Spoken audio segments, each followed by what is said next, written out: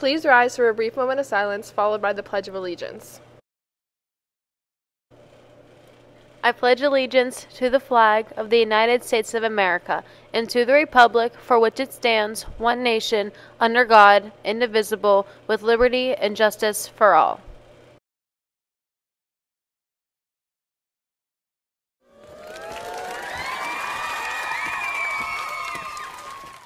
Good morning, New Brighton. Today is Wednesday, October 4th.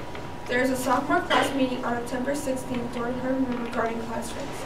There is a senior class meeting on October 18th during her room regarding cap and gowns. Class ring cap and gown orders are due on Thursday, October 23rd. This is the only in-school order day.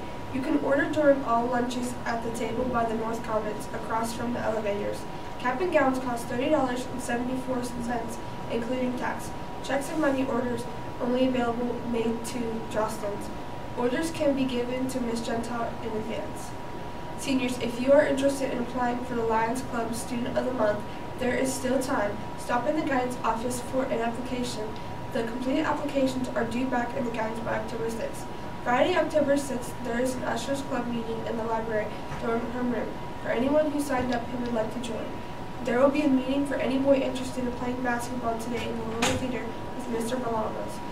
Any senior interested in possibly attending CCBC's CCBC after graduation is also welcome to attend the CCBC Aim for the Future Friday field trip. You can pick up a permission slip in the guidance office. Completed permission slips are due back in the guidance by October 10th. Absolutely no permission slips will be accepted after October 10th. Attention senior girls, applications for the New Brighton Civics Women's Club Al City Senior Girl are now available in the guidance office. Completed applications must be turned in to guidance office and are due by the end of the day on October 30th.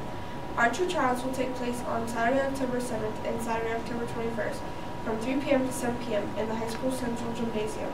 Any student taking the SAT in October, this is a reminder that you must have a state ID, driver's license, or school ID from this current school year. If you are in need of a school ID, please stop in the guidance office. Students, if you are driving to school, please make sure you have a parking permit. These are mandatory and can be purchased for $10 in the guidance office. Parking permit applications are also available in the guidance office.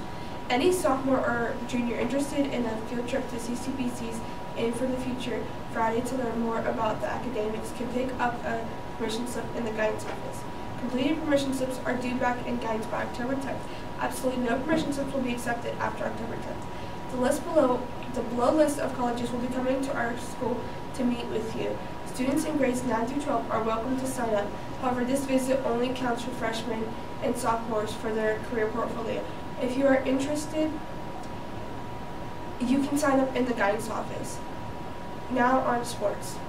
Come watch Cody, Caleb, and Kevin play in their first hockey game of the season tomorrow night at Brady's Run Ice Rink at 645.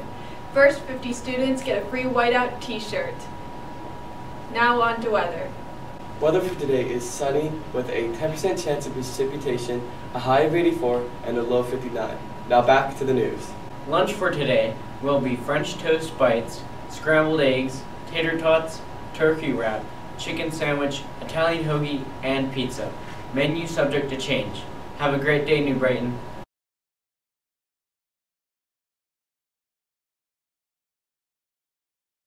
The volleyball team lost to Avonworth 3 to 0 with scores of 25 to 9, 25 to 7, and 26 to 24. Thanks to Skyly Harden who led the team in blocks, Sunday Fazio and assists and aces, and Chloe Reiser and digs, and Alea McKenzie and kills. The volleyball team lost to Central Valley with scores of 25 to 10, 25 to 20, and 25 to 14.